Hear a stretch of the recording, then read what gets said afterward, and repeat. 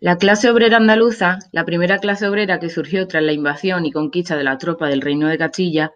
la clase desposeída de todo, de su cultura, de sus raíces, de su lengua, desterrada en su propia tierra a vagar por los caminos suplicando trabajo a los señores y señoritos de la oligarquía invasora, tiene la actual joven clase obrera andaluza la esperanza de acabar con esta situación de opresión y explotación que ha sufrido, sufrido nuestro pueblo y nuestra tierra desde hace siglos. No es casualidad que en los últimos datos del paro del último trimestre de 2020, la tasa de paro juvenil se sitúa en el 52,59%, es decir, más de la mitad de la juventud de Andalucía no está trabajando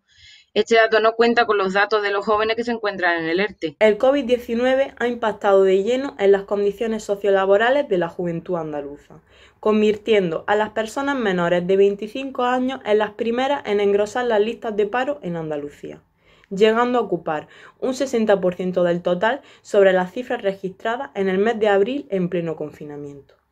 En este contexto se hace difícil planificar y desarrollar proyectos de vida y evidencia la baja tasa de emancipación juvenil, donde solo el 17% de la población menor de 30 años ha logrado independizarse.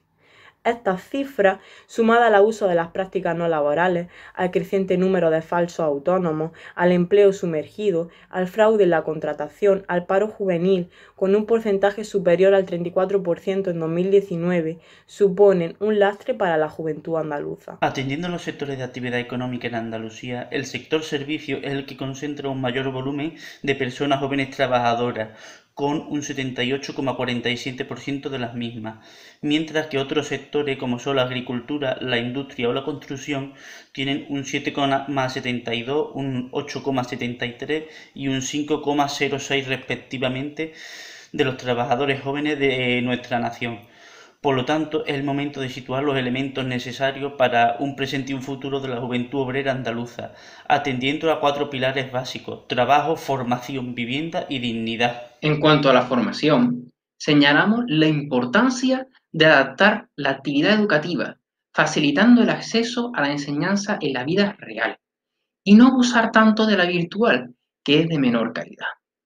mejorando el sistema de becas y reduciendo la tasa de abandono escolar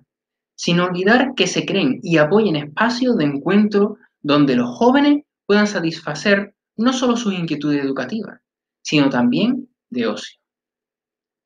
Estamos ante la oportunidad de generar políticas para revertir los datos negativos de empleo y los parámetros sociales que se vienen repitiendo constantemente. En este sentido, defendemos la militancia política y el sindicalismo de clase, como herramienta para defender los derechos y las condiciones laborales de las jóvenes proletarias andaluzas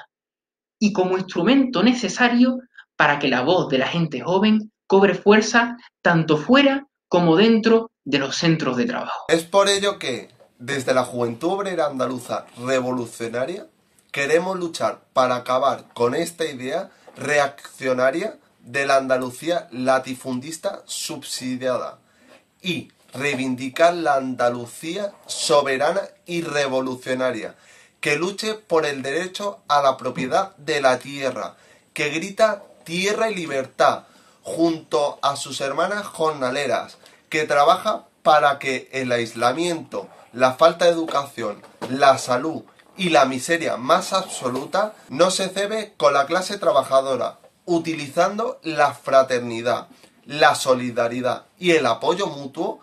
para que Andalucía recupere su memoria histórica como tierra de lucha. Por nuestra juventud revolucionaria andaluza, ¡viva Andalucía libre!